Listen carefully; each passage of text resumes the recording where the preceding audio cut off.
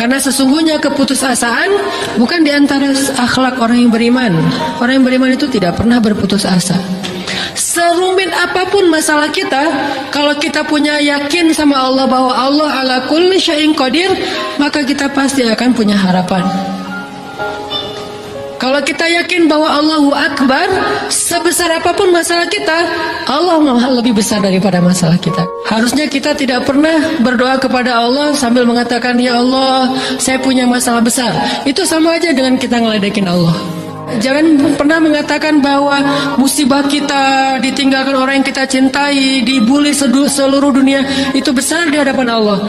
Bukankah Allah cukup buat kamu kata kamu? Wahai jiwaku, kalau kamu merasakan kesempitan, kegalauan, bingung, sakit, jangan pernah kamu mengatakan, Ya Rabbi, saya punya masalah besar. Tapi katakanlah, wahai masalah, saya punya Rob yang maha besar.